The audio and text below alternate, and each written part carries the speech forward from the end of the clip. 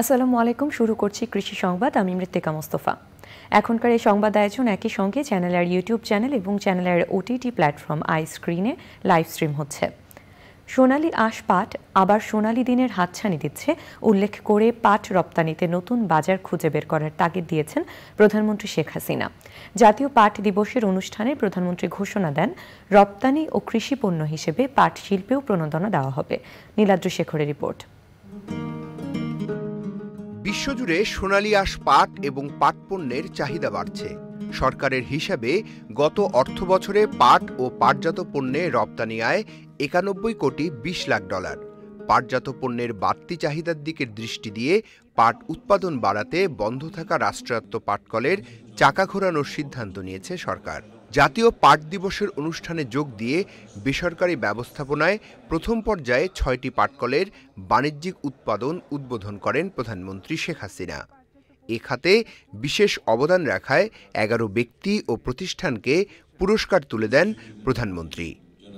এবং পাট পণ্যকে বহুমুখীকরণ করা এবং সেই পণ্যগুলি রপ্তানির জন্য বা আমাদের দেশের কাজে ব্যবহারের জন্য কি কি পণ্য করা যেতে পারে, উৎপাদন করা যেতে পারে তার দিকে আপনাদের যত্নবান হতে হবে। বিশেষ করে এ পর্যন্ত যারা এই পাট কলগুলি লিজ নিয়েছেন, আমাকে অনেকেই বলেছেন যে আপনারা বিদেশি বিনিয়োগ নিয়ে আসবেন, যৌথভাবে চালাবেন এবং উৎপাদন বাড়াবেন এবং রপ্তানি বাড়বে। আমার সেই বিশ্বাস নিয়েই কিন্তু সকলের হাতে তুলে দেওয়া হয়েছে। কাজে যারা নিয়েছেন, তাদেরকে এইটুকু অনুরোধ করব যে আপনারা যার যার ইন্ডাস্ট্রির প্রতি যত্নবান হবেন, যথাযথভাবে সেটা পরিচালনা করবেন এবং নতুন নতুন পণ্য আবিষ্কার নতুন নতুন বাজার খুঁজে বেড়ানো সেখানে রপ্তানি বাড়ানো। কারণ এই পরিবেশ বান্ধব এই পণ্যটা বিশাল বাজার কিন্তু অপেক্ষা করছে।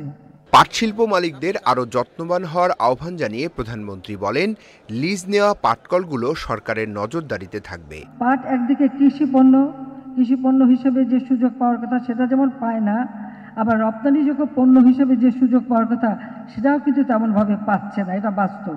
এবারে আমরা সিদ্ধান্ত নিয়েছি যে রপ্তানি জাত পণ্য বা কৃষি পণ্য হিসেবে পাটের যে মানে প্রণোদনা পাওয়া উচিত, সে প্রণোদনের ব্যবস্থা আমরা করব। পাট, কলকারখানাগুলি তুলে দিলাম। আপনারা কিন্তু এভাবে চিন্তা করে সেখানে প্রচুর জায়গা, অনেকের বড় বড় জায়গা পেয়েছেন আপনারা। কাজে সেই জায়গাগুলিতে নতুন মেশিনারিজ বসিয়ে নতুন পণ্যগুলি আপনারা তৈরি করবেন।